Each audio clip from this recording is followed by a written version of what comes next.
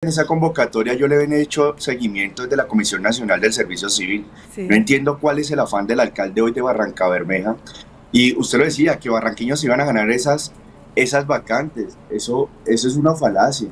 Precisamente me encontraba gente en Bogotá, funcionarios de la alcaldía de Bogotá, que se están que han presentado 10, 15 concursos en diferentes partes de Colombia y que muchos funcionarios de Bogotá se van a presentar en esa convocatoria de Barranca ¿Por qué?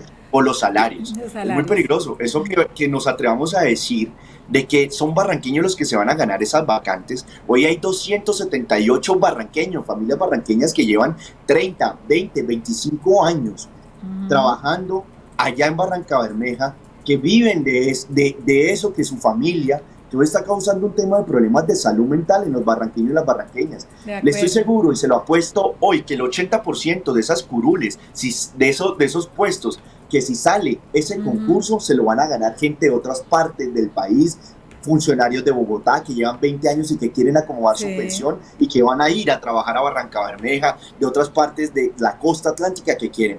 No entiendo cuál es el afán del alcalde de Barranca Bermeja con ese concurso. Entienda que eso no se lo van a ganar los funcionarios de Barranca Bermeja y que mande un derecho de petición a la secretaria y que estoy esperando que me lo responda de recursos humanos de Barranca Bermeja, porque hoy lo que está causando es un tema y he venido hablando con la ministra del Trabajo y con el, el, presidente de la Comisión de Servicio Civil de lo que está pasando, de la masacre laboral que se va a causar.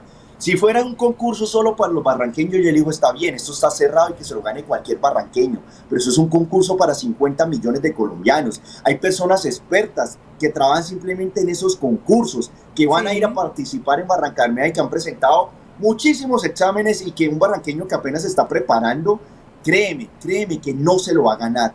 Vemos un afán de la administración municipal. Yo en eso sí me opongo. Yo le digo hoy al alcalde Jonathan de que deje el afán y que deje de correr con ese concurso porque va a resultar afectadas muchas familias barranqueñas,